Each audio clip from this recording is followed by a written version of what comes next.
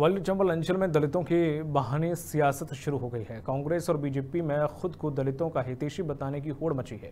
ग्वालियर चंबल की चौंतीस सीटों में से लगभग आधा दर्जन सीटों पर दलित मतदाता निर्णायक स्थिति में हैं।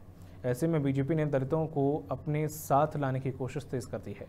इसी कड़ी में बीजेपी ने संत रविदास मंदिर निर्माण समरसता यात्रा निकाली। संत रविदास की चरण पादुका लेकर उन्हें सर पर रखकर बीजेपी के नेता विधानसभा क्षेत्र में चलते हुए दिखाई दिए। राज्य मंत्री भारत सिंह कुशवाहा ने इस यात्रा की ग्वालियर में अगुवाई की। भारत सिंह कुशवाहा ने कहा है कि संत रविदास पूज्य संत हैं। उनका भव्य मंदिर सागर में बनाया जा रहा है। 12 अगस्त को प्रधानमंत्री नरेंद्र मोदी पहुँच रहे हैं। हर गाँव से मिट्टी लोग दे के उसमें कल्स में बंद करके वहाँ मिट्टी को पहुँचाने का काम इसलिए कर रहे हैं। उनकी जो नीम खुदेगी मंदिर की, उसमें मिट्टी डाली जाएगी।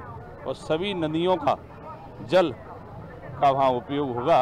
इसलिए हम सब लोग बड़े भाग्यशाली हैं कि हमारे देश के अंदर संत श्रोमणी जैसे तपस्वी ने जन्म लेकर इस देश को आशीर्वाद देने का काम किया। दलित को रिझाने की कोशिश है कांग्रेस ये कह रही है दलितों को साध रहे हैं आप। कांग्रेस का तो है विनाशकालीन विपरीत बुद्धि। हर जगह राजनीति कांग्रेस करती है इसलिए कांग्रेस की ये स्थिति है।